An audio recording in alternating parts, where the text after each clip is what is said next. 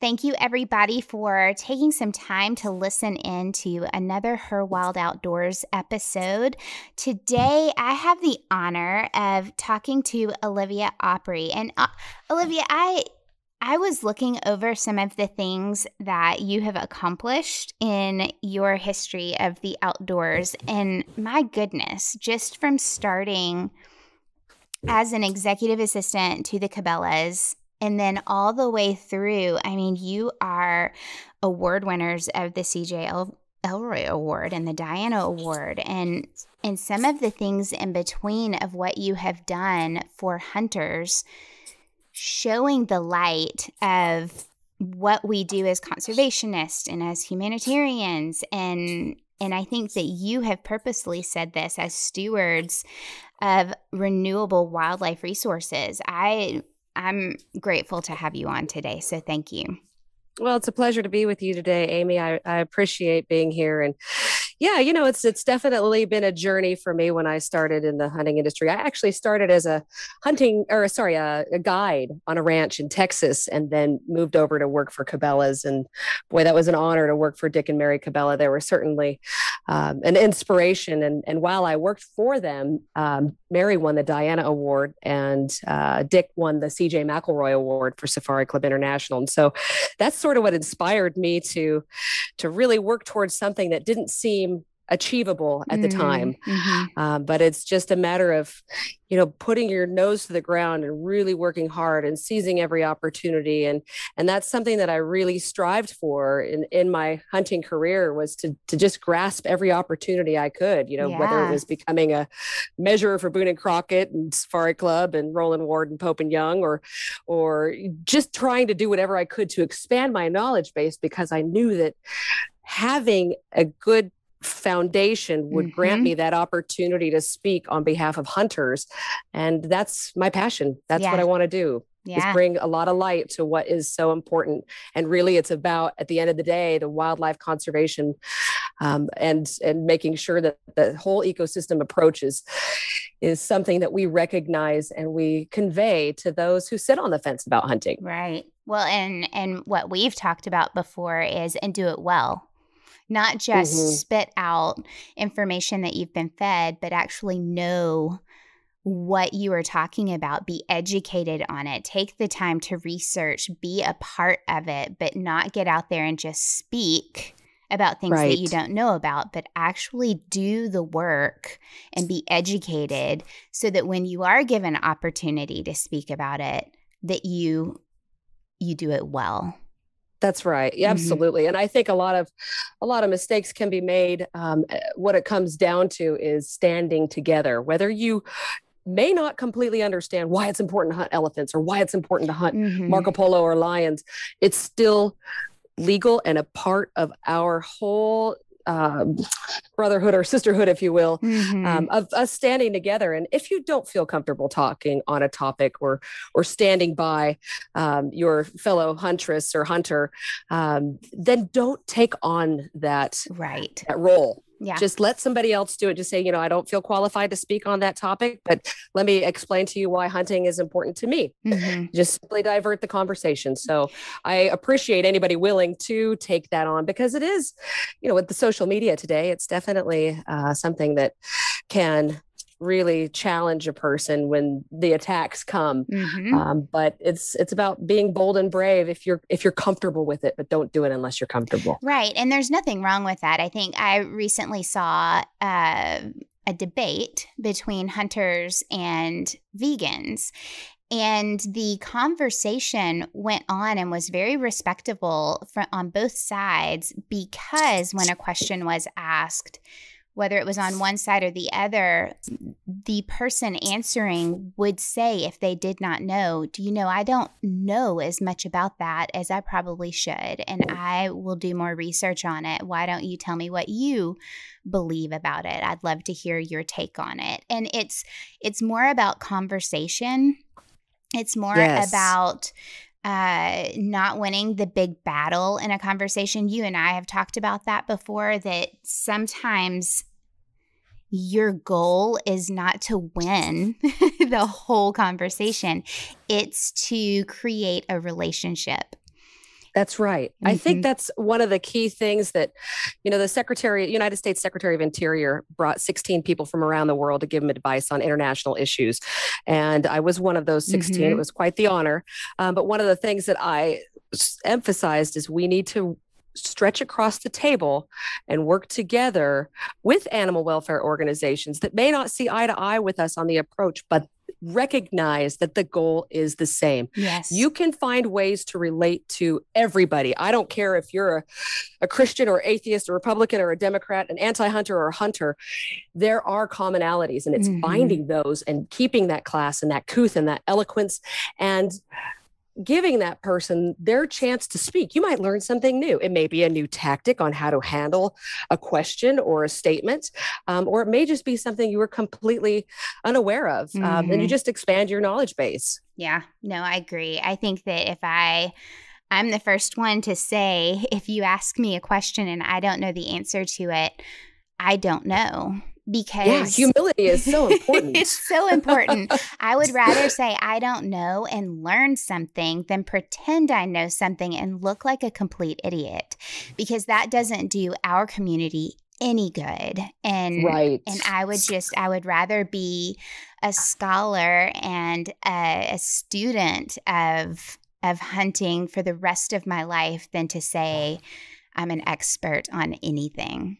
That's right. That's mm-hmm. right. Leave that to the to the scientists of their field yes. and yeah, like you said, everybody's got their their niche that where they do have a really good grasp on things. Don't ask me about archery hunting because I've not done it, but I, I will direct you to somebody who can give you, exactly. you know, advice on that. And exactly. so I think it's it's being willing to be humble. I think if you start screaming and yelling and and fighting a fight that you can't really you don't really have answers to, mm-hmm. and that just is counterproductive yeah. and a problem and can cause more problems in the in the long run and, and, you don't need to be an ambassador on behalf of all of us hunters that and, and not sound 100% you know like you like you know what the topic yeah um, and so I think, like you said, it is important to let those people talk on that topic, recognize and mm-hmm. and, and and be willing to share that I can't answer that question. Right. I can give you advice on who to talk to about that. Exactly. it's not me. You're right. I'd rather say that in a million years than to be proven wrong by something. And yeah, I want to actually come back to that in a little bit, but I want to hear how the outdoors first came into your life, how whether it was as a child or as a teenager, when it was, and how it became such a pivotal part, how that passion grew. So, I didn't come from a family that hunted. Mm-hmm. I had a stepdad and a neighbor boy that both sort of encouraged they could see my love for the outdoors mm-hmm. we, whether it was riding horses and and um, or looking for cool rocks or whatever it was they could see that love and and they would say oh i'm going to go hunt doves this weekend do you want to come along and you know it was my neighbor boy that said let's go get our hunting licenses mm. and so we went and followed all the laws and followed all the protocol got our hunting licenses i didn't know know the difference between a rifle and a shotgun. I didn't know. yeah. I mean, I knew nothing. I don't know how I even passed, but um, I did, and I learned as I went with great mentors like my stepfather, and and um, it was in Bakersfield, California. That's where I started hunting, and um, from there, it was it was more of a you know a fun pastime. I didn't recognize anything about wildlife conservation at that stage. It was just mm-hmm. more about camaraderie in the field, mm-hmm. and I decided to go off to college in Wyoming, where I continued to do hunting of geese and ducks and attempt to hunt deer with the wind at my back and the sun in my face and everything wrong in the middle of the afternoon. and then my dad who I, I got him into hunting and he and i would would try our luck and and ultimately he recognized and I, I commend my father for this because he does recognize when he's not an expert at something, he's going to find somebody that can help him. And so we hired a couple guides to help us on, you know, a deer hunt in California, and that helped. Um, mm-hmm. Um, while I was in Wyoming at college, he said, called me up and said, "Hey, what do you think about hunting Cape buffalo and leopard and plains game in Zimbabwe. It's like Whoa, I'm in. Yes. 100%. I am in. I cuz I love adventure and I love traveling the world and mm-hmm. I had had a chance to do a little bit of international travel for just tourism purposes, but it was on that safari. We were in an area that's uh, it's called Campfire Area Communal Area Management Program for Indigenous Resources, which ultimately incentivizes the Indigenous people to coexist with the wildlife because they mm-hmm. will have the mm-hmm. jobs, they will have the yes. the medical facilities, they will have the meat, they will have all these things as a result of coexisting with the wildlife, as it should be wherever you are in the world with responsible um, outfitters and and uh, you know government officials making sure that that whole symbiotic relationship is is put in place. Right. And when I was there and and we were giving the meat and we were recognizing that impact that hunters have, it it changed everything for me. Mm-hmm. I all of a sudden developed this passion that everybody needs to know how important hunting is to the world. And I went back to college. I got my associate's of science degree in ag business, and an opportunity came to work for a, uh, the Triple Seven Ranch in Hondo, Texas, and I decided to drop out of college and pursue that. And, you know, fortunately, I have parents that recognize my work ethic, my mm-hmm. passion, and knew that I was going to make the right choice for me. Yeah. And so I did. I, I, stopped my education and I went on to be a hunting guide and and that was definitely a, a, a shock factor for me um, simply because I was the only female guide the only ever since. Wow. they never hired another woman again but that's I think probably because there aren't a lot of us uh, out there but um, anyway, um, and then I'm working for Dick and Mary Cabela. And mm-hmm. while I mm-hmm. was working for Dick and Mary, a colleague of mine, Ed Beatty, said, "Hey, there's this pageant called Mrs. Mrs. Nebraska America. You should run." And I'm like, well, "I am not a beauty queen. I'm the furthest thing from a beauty queen. Put me in heels, and I'm going to embarrass everybody, especially if I'm representing a state." Um, well, I won the competition and I won it with the pro hunting stance as my platform. Mm-hmm. And I was mm-hmm. so fortunate that that our pageant director and the Mrs. Nebraska pageant embraced my platform and it's been incredible that journey since I won that crown and sash, the audience that I had access to to speak about wildlife conservation and the important role hunters play, whether it was through television, radio, writing articles.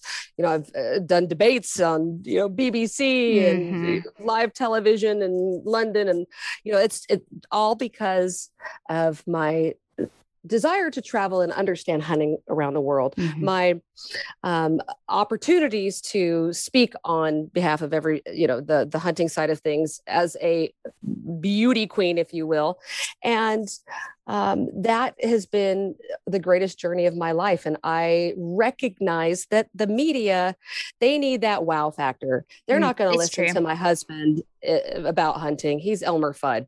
They need that.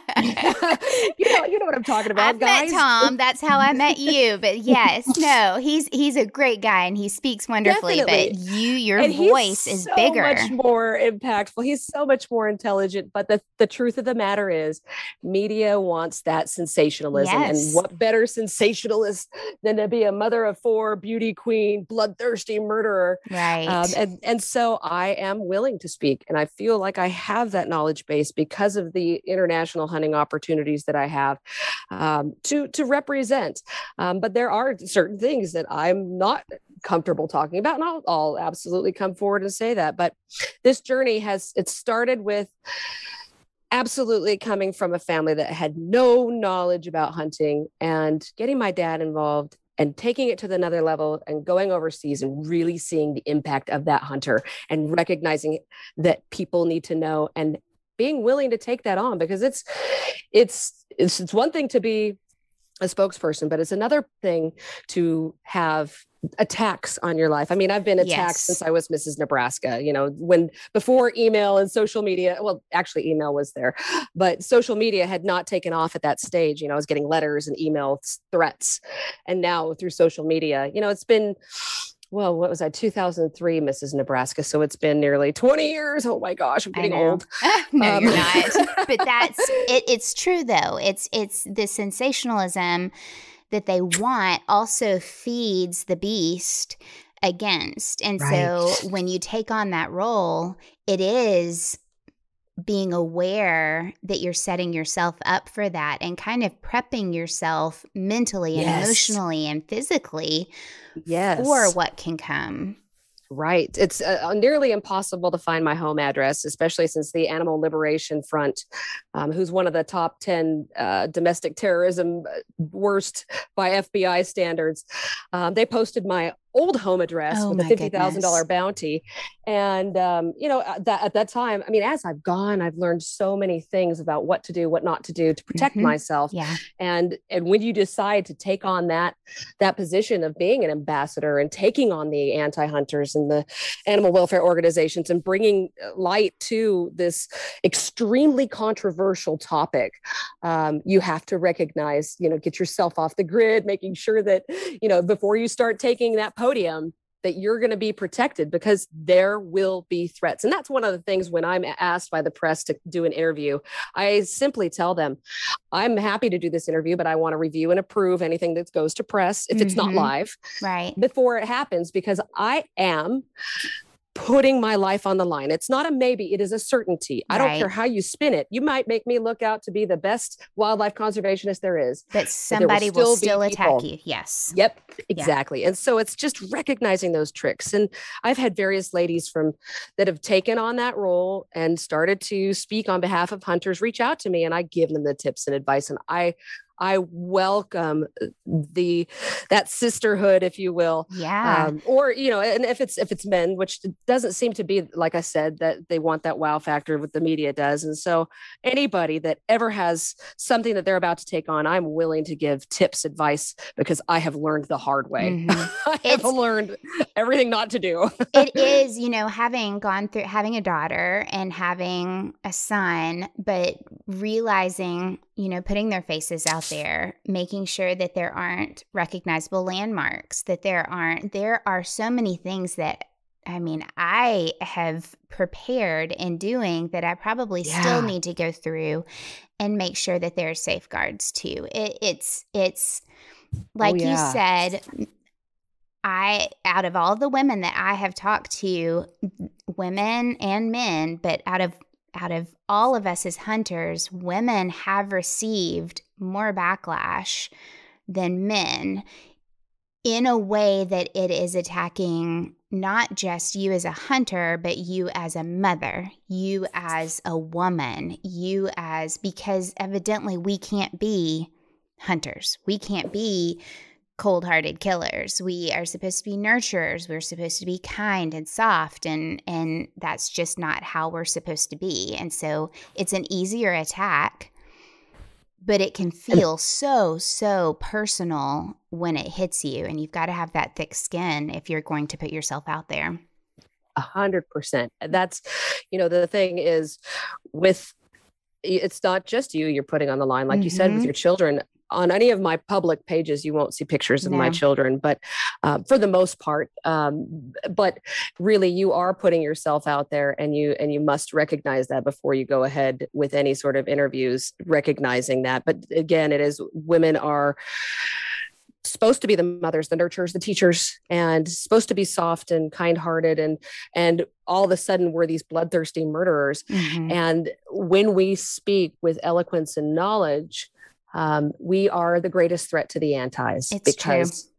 we are so we have so much more impact with everybody because of how we approach things because of how women can come across we have mm-hmm. we are tender mm-hmm. you know mm-hmm. it's it, as as hunters we all all hunters should be you know we we pre- we treasure wildlife. Mm-hmm. We don't just go out there and just murder things and no, kick the beast. Right.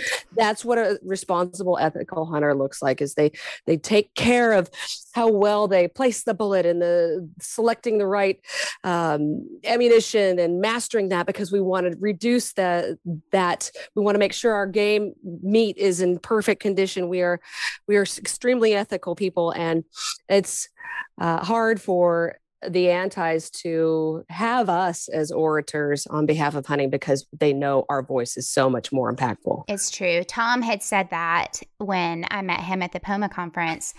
And he was talking about you, raving about you. And uh, first of all, that was that stood out to me when you hear a man rave about his wife, not just in a way of physicality and all of that, but in a way of a passion for the outdoors, in a way of passion for other women. And he was talking, and you and I talked afterwards about it that our voices it's almost like we're a double edged sword. We have access to conversations that men don't have.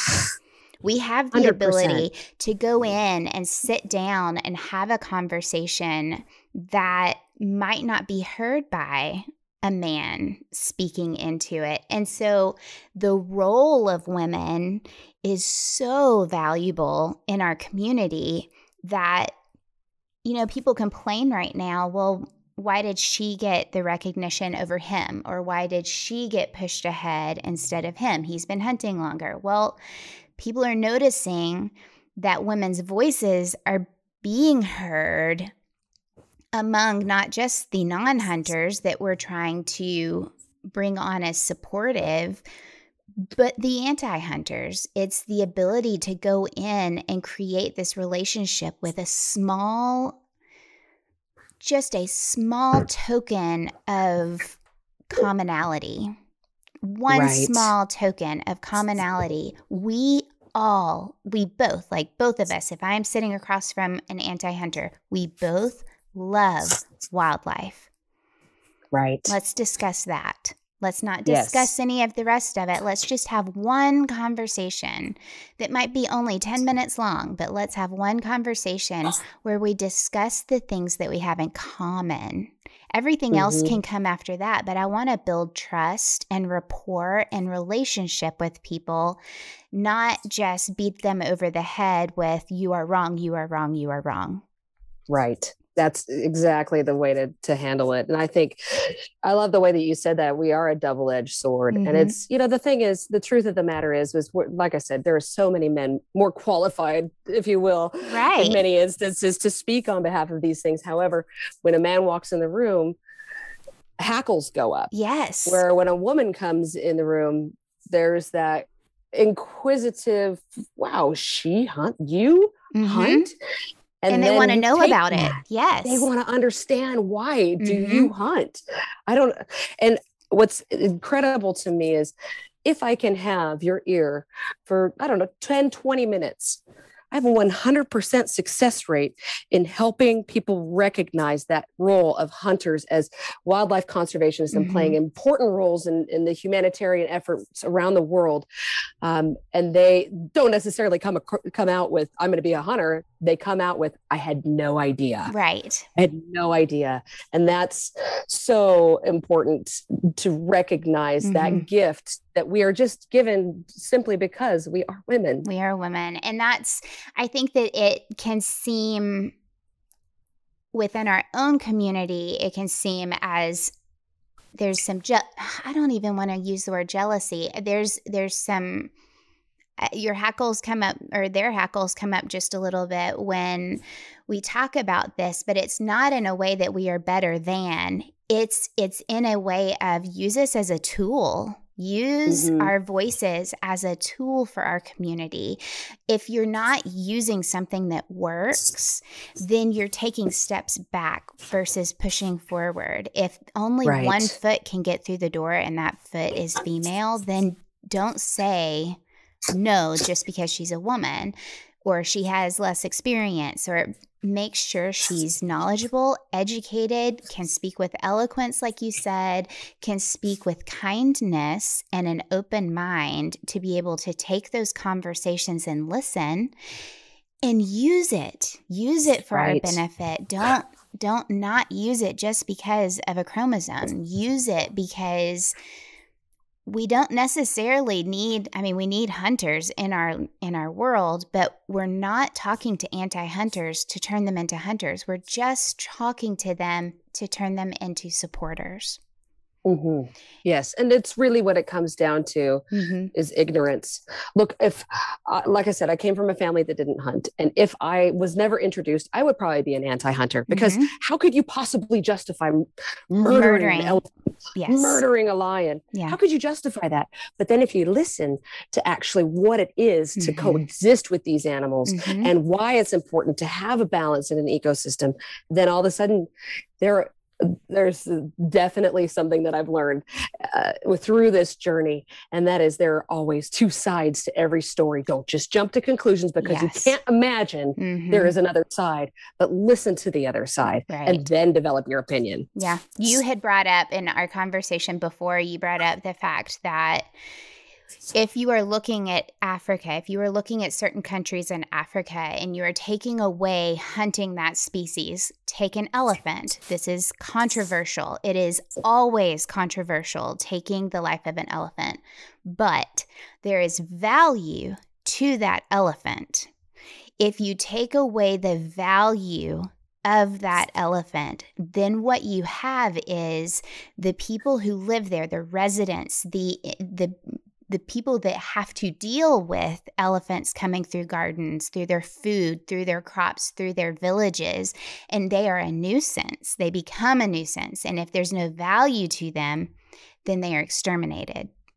Absolutely. I mean, think about our pioneers when they came west. Mm-hmm. They eliminated the wolf because they were eating their livestock right. or their yeah, cattle or sheep. It's just, it, I understand it. I don't have to. I don't have to. I could. The problem is, is Westerners want to dictate how Africans should live with these beasts. Exactly. And who are we to tell them?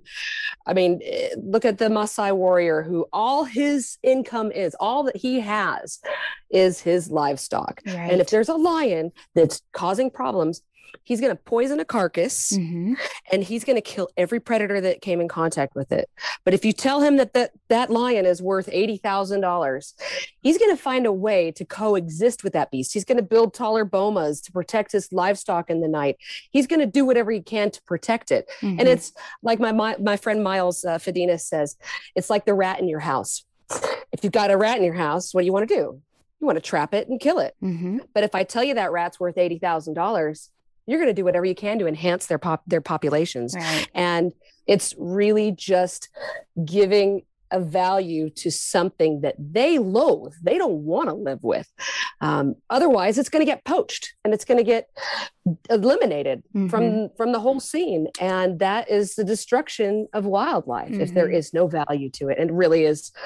I, it's so cliche to say because everybody says it, but if it pays, it stays is really the truth. It really I mean, is. It really is. And value to anything creates a situation where you can push anti-poaching uh, things that you're you're able to implement you're able to pay people you are able to uh, it's not just providing meat to the community it's providing jobs it's providing so much more than just going over and shooting an animal. And that's right. how many states now is it two states now that they have made it against the law to bring back a lawfully taken African animal.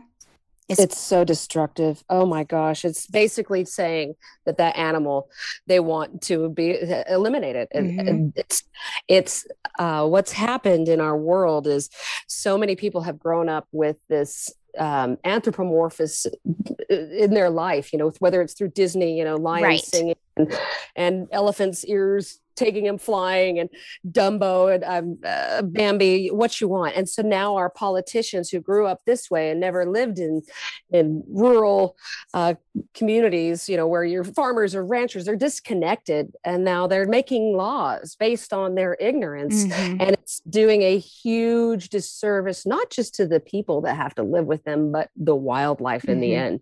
And that was, you know, Tom has done whatever he can to convey my husband that message, and he, you know, he made this film "Killing the Shepherd," which yes. is reaching that audience through, you know, Shepherds of Wildlife Society, and um, that has granted him that chance to reach not talking to the hunters he's talking to the non-hunters mm-hmm. and time he goes to a film festival and presents the film killing the shepherd the questions that come afterwards after seeing that symbiotic relationship between living the man and the beast in this area that was uh, nearly game depleted because it was poached out because hunting had stopped years before and then finding a way to coexist with those those animals all of a sudden those people recognized the value of them and now the wildlife populations are exploding because of somebody helping them recognize that and when a person sees this film, they go, I had no idea. Mhm. It's just giving them the chance to hear another side. Mhm. Just listen to me. Just listen to this perspective. And it's not just with Africa. You know, the guys in uh, Mongolia or Kyrgyzstan or wherever in the world, if their livestock is how they make a living, they're going to go kill a Marco Polo sheep for their meat. They're not going to kill their goats or their cattle Right. they're going to go kill a red stag they're going to go they're going to kill the game they're going to poach the game Mhm. to feed themselves instead of using their livestock which is value to them Right. so if there's no value on any beast on this earth then there's no reason to live with them kill them It's true. And I it it goes back to the bigger problem, which is what you're talking about. You are personifying an animal. You're creating this cartoon, which I I mean my my kids' friends come over and ask all the time, how can you kill Bambi's dad or Bambi's mom like in the movie? And I said those those weren't hunters at the time. Those were poachers. If you think about it, at the time that Disney put it together, Bambi still has spots on. The mm-hmm. there are they are not shooting in a correct way. They are shooting at everything. It it is not portraying a true ethical hunter. It is portraying Right. someone who is doing something wrong.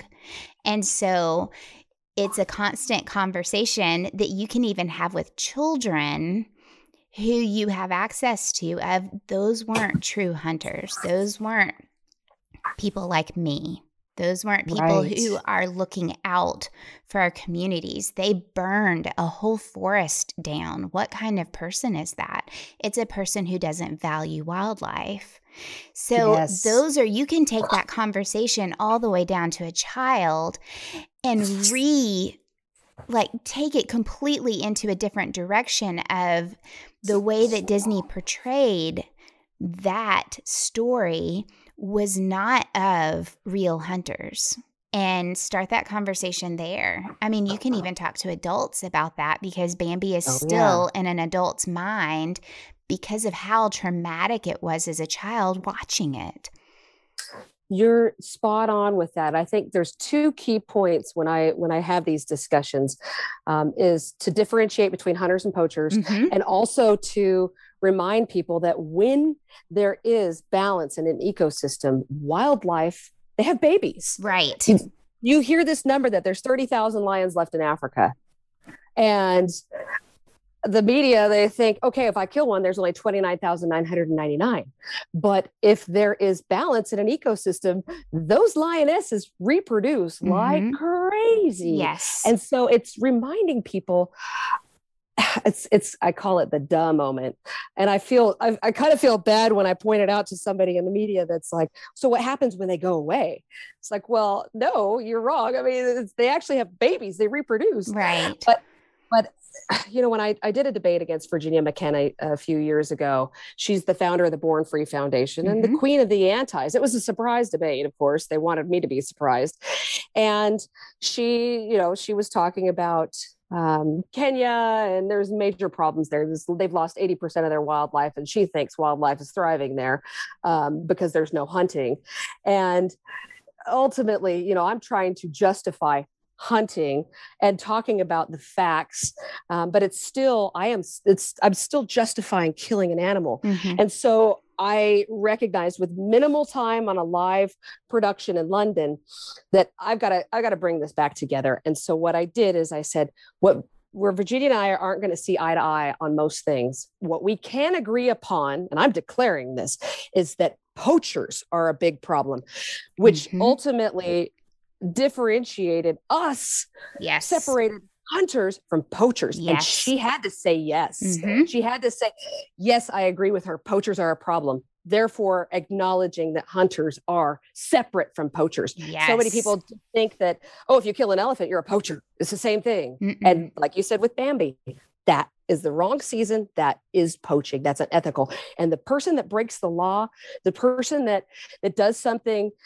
they a lot of times the media will say, "Oh, a hunter killed this elk and left the carcass." No, a poacher killed that elk and left the Mhm. carcass. Yes. I don't care what time of year it is, even if it's in the right season, if they've just cut off a head and left the carcass, That's a that's poacher. unethical and that's Mhm. poaching. And I stand separate from that person. I do not want to associate myself with that person and I will fight against that person because it's exactly what we're trying to avoid. Right. There's a somebody put on the socials yesterday just because we both hunt does not mean that I have to support you.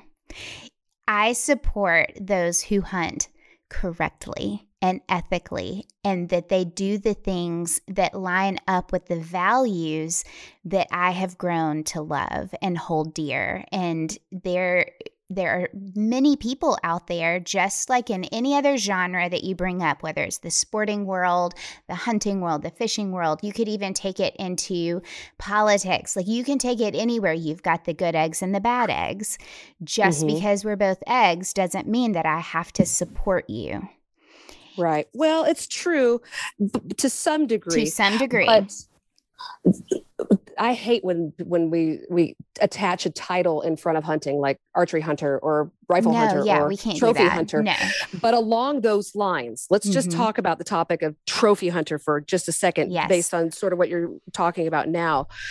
There are guys that all that matters is that they kill the biggest, they kill the the most unique or Mhm. whatever because they're chasing an award or they're chasing something. that's and perfectly guys- fine i'm i yeah i will support jerks. them hmm they may be total jerks. They may not appreciate or respect or understand that role. And however, even though they are jerks that are giving us a bad name in many ways, it's the outfitter who is responsible for this hunt that Mhm. makes sure that that money is going back into anti-poaching efforts, Yes. building water wells, making schools. And so whether we like him or not, Mhm. approve of his methods or not, um, as a trophy hunter, if you will, it's the outfitter that's taking it to the next degree Right. with his money yeah and making sure that the right things are done with that jerk's money. right So, And I'm even I'm I would 100% support a trophy hunter as long as he's abiding by the law. That's as it. long yeah. as he's, Otherwise, he's a poacher. right. No, exactly. And so it, it goes back to what you were saying, differentiating between poachers and hunters. If you are Mhm. doing things illegally, then you are not a hunter. You may call Right. yourself a hunter, but I'm not going to support you because you are not legally and ethically doing things correctly. It, it there's there's a very black and white line on that with me personally and i think with a Mhm. lot of hunters out there the reason that you hunt is not one that should be divisive. The way that you hunt is not one that should be divisive. It is if you are ethically doing it or not ethically doing it if you are abiding by the law or not abiding by the law. Those are the hard black and white lines. Well, and it's it's to take it to another level. Social media has given people this opportunity to share their journeys with people, and Mhm. where you and your buddies on your social media account um, might enjoy seeing your shot placement and that animal dropping off a cliff, or you know you sticking an arrow between the eyes of an animal. That is something you don't post. You Yeah. cannot post these pictures Mm-mm. because it's painting a really bad picture you might just intend it for your buddies to see but it can be something that's screen captured and put all over in another way that yes ultimately paints hunters in an unethical way so the photos that we post need to tell a story yes I mean, look at this. Amy. If you see a picture of me and I've got a mountain goat on my back and I am smiling, you're like, that girl rocks. She just Mhm. climbed some major mountains. That was a hard hunt and she ended up with success. And you know my journey. yes But to the non hunter, they just see this creepy girl with a dead animal on her back and a smile on her face, and they know nothing of what it took for me to get there. And so it's it is telling the picture, the, telling the story of our journey, showing the pictures of your struggles, showing the pictures of your of your failures. Yes. yes. And that the thing is, is I was talking with a I did a, a documentary with a crew out of Seoul, Korea, and I said for every successful hunt I've had leading up to that i probably had about a hundred unsuccessful ones because you think about every time you go out to hunt Mhm. you step on a twig Okay, you blew the hunt. Right. Then the next day you go out. Oh, the wind's changed. You blew the hunt. Think of how many times your hunt is blown before you actually have success. It's pretty incredible the number. It is. we don't just go out and shoot something and it's No. done. We we fail a lot more than we succeed. And so I think it's important to tell that journey as well instead of just the just these photos of the end result. I agree. Um, I think not mm-hmm. just for the non hunters or the anti hunters, but for the hunters who are coming up behind us, who are yeah, you're right. seeing how if they're if you're only seeing the victories if you're only seeing the end results that are deemed successful then it should be easy. Well no that's not what hunting is. If it were easy like that and every single time you went out you had a in quote successful hunt that's called killing hunting is so much bigger than that it's the prep that you put into your hunt even before you step out onto the ground. It's even before you step into season. It's what you're doing ahead of time. It's what you're doing for managing either private property or even putting effort into public land that you hunt. You're cleaning up trash as you're scouting. You are Yes.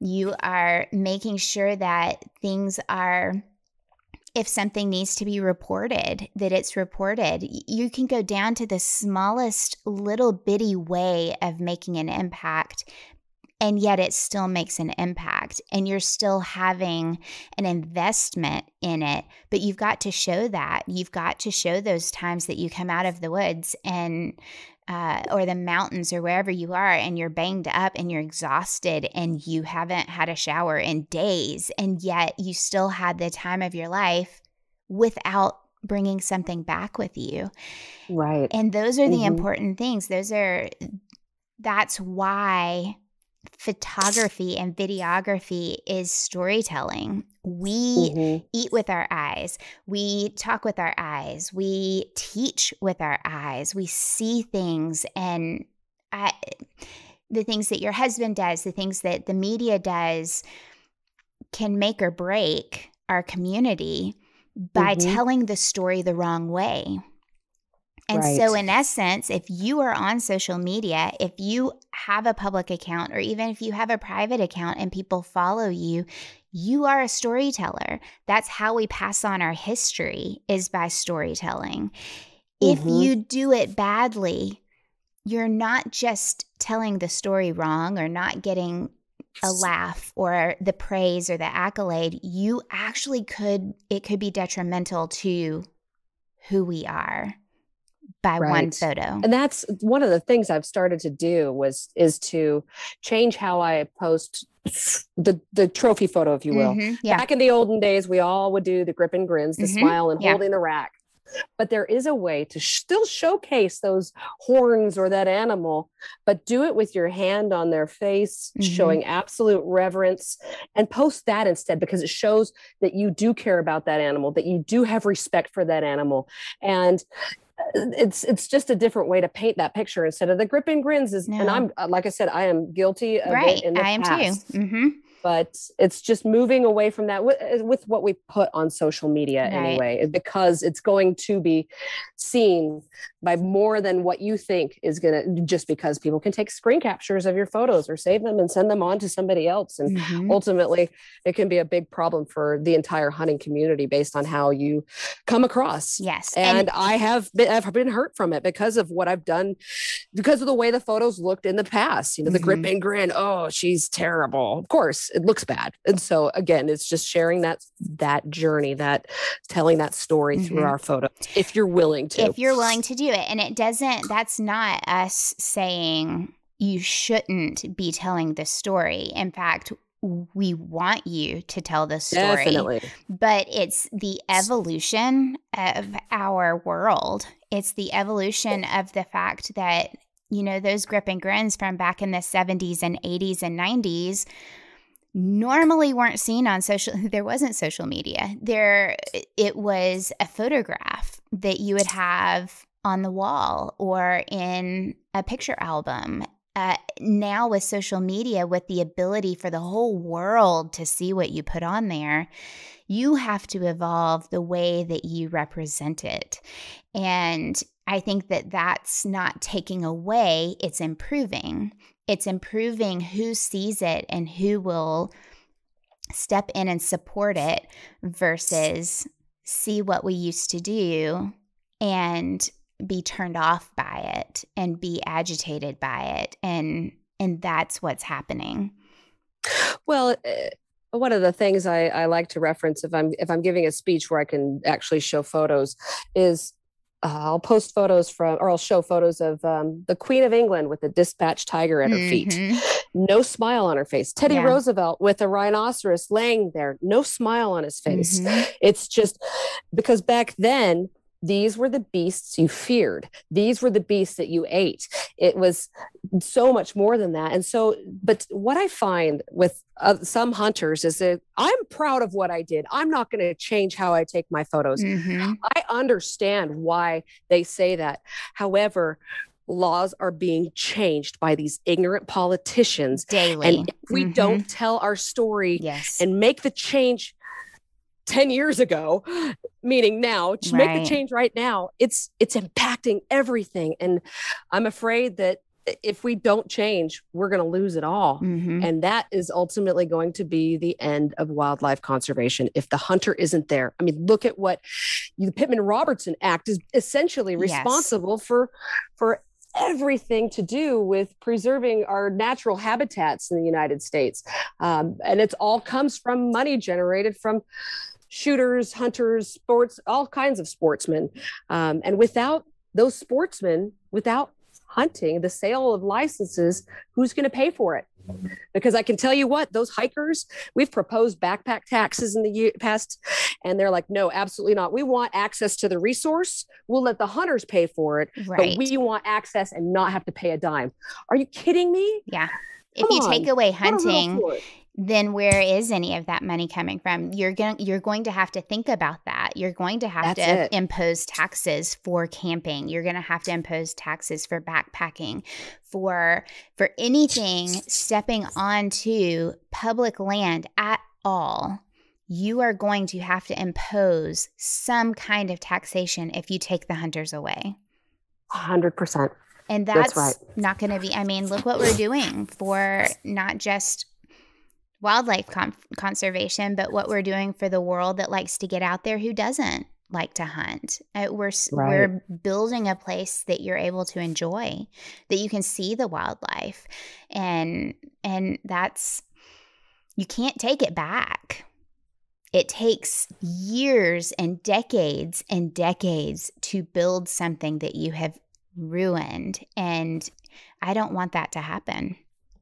Of course. And mm-hmm. that's why spokespeople like you and I, you know, we, the, I, I consider it my my pleasure and my responsibility to be brave mm-hmm. and to mm-hmm. take it on. Mm-hmm. But um, we have we've got to try to save what we have left because the truth of the matter is hunters numbers are diminishing incredibly now with covid i think a lot of people recognized when there were shortages of toilet paper and, and other goods um, where is my meat coming from mm-hmm. and it did help spike the sale of of hunting licenses and firearms and ammunition and, and that but we need to encourage those folks that are just exploring right. this we need to get them out there and, and teach them and be willing and and more than just hands on but also through education and mm-hmm. conversation. Yeah, because like you said, we do this past year and a half there has been an influx in people getting out there and uh, angling and hunting but they need to do it well. We need to right. create that generation that is coming in to be good stewards of our land. And that's more than just picking trash up. that is so exactly. much more than that. It's supporting the politicians that do well, that do have that in in their minds and in their hearts and in their passions. It's we have a great governor right now in Tennessee. Is he perfect? No, but during COVID, he got quarantined because of exposure and what did he do? He went bow hunting. He was on That's his own awesome. property. He was able to go bow hunting. He posted pictures of it. That's what he was doing. He supports getting into the outdoors, whether you're a hunter or a fisherman or just someone who loves to be in the outdoors. And sadly, we have states that don't have that. And I mean, Oregon is one of those states that we are just watching it. I'm watching it from here, and my heart is breaking for what I see in the next 10 years if this does go through. Oh, yeah. I mean, the thing is, you know, like the state of California, they stopped the, the hunting of the mountain lion and their numbers are through the roof. And now they're mauling joggers and eating fifi and the kitties and all that stuff Mhm. and and there is imbalance and now instead of the taxpayers generating money from responsible ethical legal hunting um, they're paying sharpshooters to handle the issue Right. and I took on the Minister of Parliament in Scotland over an issue with an invasive species, this goat that wasn't from the island. And I said to him, okay, you want there's this there's this animal that's not even from Scotland that's an invasive species and you want to end the hunting of this goat. What is your solution Mhm. for their overpopulation? Mhm. I said, because this is not an animal from your country. And he said, well, I want to do birth control and we will hire sharpshooters where necessary. I said, so you want the Scottish people to pay for birth control of this non indigenous species instead of generating money from a foreign hunter to take care of it for you? Right. I mean, it's like complete ignorance. Oh, Mhm. it's so frustrating sometimes, but it, it really is just ignorance. And I embarrassed him. And I, you know, I, I'm not there to shame people and embarrass people, but to bring light to something that's kind of a duh moment. right right and and there there are ways to do it that um you kind of have to read the room right read the room see how do you need to be bold in that conversation you definitely need to be educated but oh. you have to be able to read how like you're the difference between talking to a not an anti-hunter and then talking to a politician who's trying to figure out the best way to handle things for his country how do you handle that? How do you have that conversation? How bold do you need to be? How do you need to kind of hold back just a little bit and create rapport because you know this relationship could be long term like i'd Mhm. rather i'd much rather like i said in the beginning i'd much rather find one common piece of ground that we can build relationship upon so that later we can come back together and because of the trust that we built we can then have harder conversations Yes, you're right. A hundred percent. so i'm i i think that it's important to kind of before we end i, I want to highlight what you've said I, I want to make sure that people know that women's voices are important men's voices are important utilize those voices in the way that they can be used utilize them in a way that it's going to benefit our community and if you have the ability to take a stand, to show your passion, to have that conversation, and you have the knowledge to do it, then do it. Be prepared for it, but do it. If you don't, give a couple of examples of people that you that have mentored you or that you know have more knowledge and say, "Hey, this is a huge passion of mine." But I am not as learned on it that I should have that conversation. But so and so and so and so would be great to talk to. Let's lift each other up and be able to Yes. push forward the agenda that we need to push in the best way possible. And if you know that you're going to have a discussion, whether it's live television or an article or whatever, seek help. Yeah. I am so willing. Anybody that contacts me and says, Hey, this is what's going on. I need Mhm. some help here. I'm like, okay, here's your resources. Here's how you should handle this. This is my experience with that. Just call me up. I don't care. I'd Yeah. love to try to help you, help arm you the best way possible because Mhm. ultimately you're relevant right now your story is relevant right now they want that that that discussion don't back down from it if you if you feel comfortable taking it on right. but be prepared be Mhm. prepared that's, that's the biggest thing. Just be prepared. Seek out help and be prepared. And and I I just want to say don't be afraid. Don't be afraid to jump into something that you could be great at. Uh, mm-hmm. Don't jump into it without preparing and asking for help and doing the research that you need to do. But we need more people out there doing it well. So, um, yep. I hope that people take that today to heart. And I hope that they hear your heart in this because it is huge. it is, your heart is huge for this.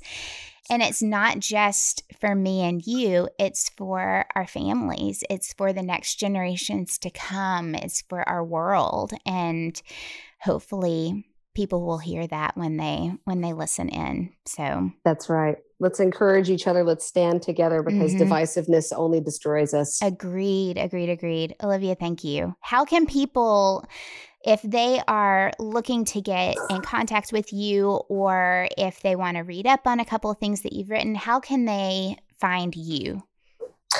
So you can find me through um, I work uh, World of Hunting Adventure um, mm-hmm. is my company. Um, find me on the social media platforms. Send me private messages. Um, for the most part, I am you know around and able to access my accounts and happy to help in any possible way. Um, so yeah, feel free to just Perfect. send me a message through social media or or through uh, World of Hunting Adventure. Okay. I'm happy to help. We can do that. Thank you, Olivia. I appreciate it. You're welcome, Amy. Thank you for having me today.